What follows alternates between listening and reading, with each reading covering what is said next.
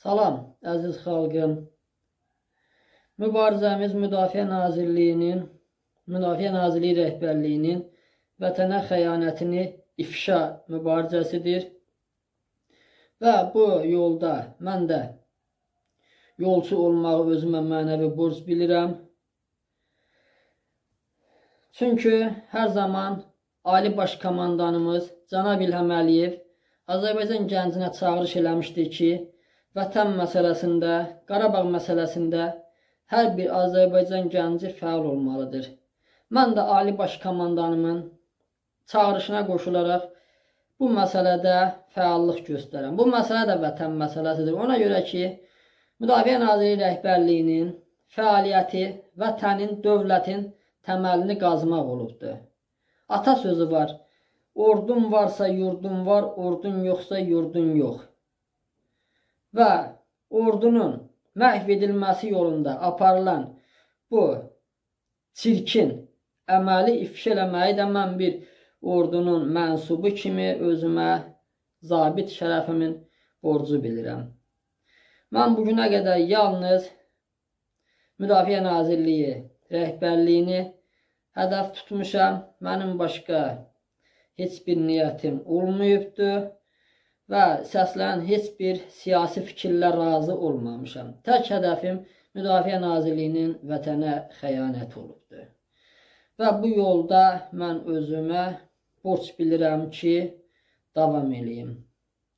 Bəli, son günlər mənim o Milli Məclis dırnaqarası çıxışım e, ola bilər ki, nəsə fikir formalaşdırır. Buna da mənim haqqım var. Mən Ali Baş Komandanımın sərəncamı əsasında 4 medalla Füzulinin, Qubatlının, Şuşanın azad olunmasına görə və cəsur döyüşçü medallarına layiq görmüşəm.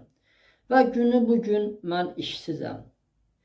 Atamın, anamın pensiyasına mən göz dikmişəm. 38 yaşım var mənim, ailə qurmamışam, fikrim də yoxdur.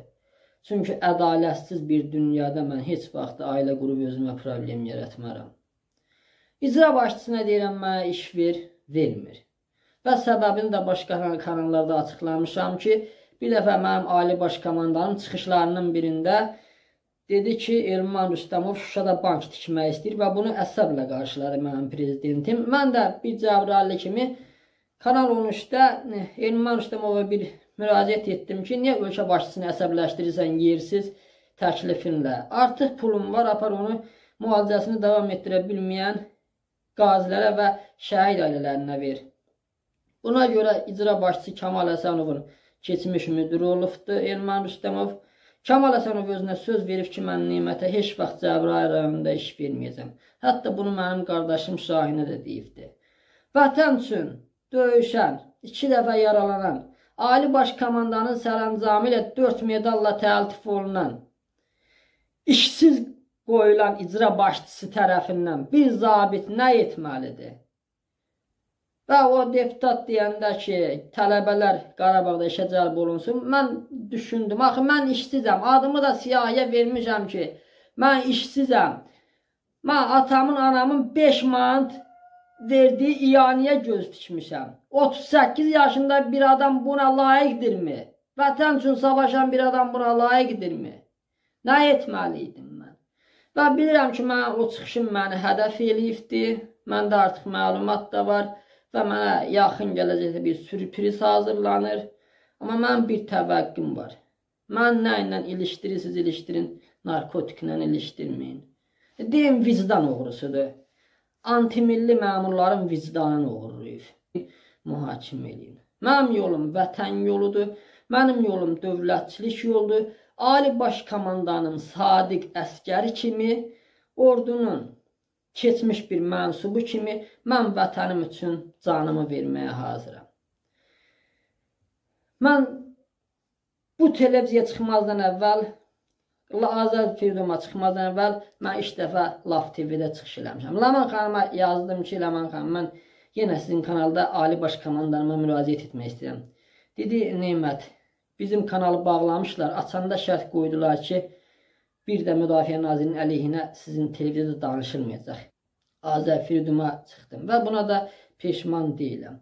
Və buradan mən Müdafiə Nazirliyinin vətənə xəyanətini asanlıqla ifşa edə bilirəm.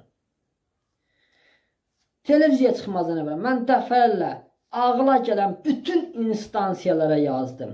Yalvardım ki, az qala mənə kömək eləyin.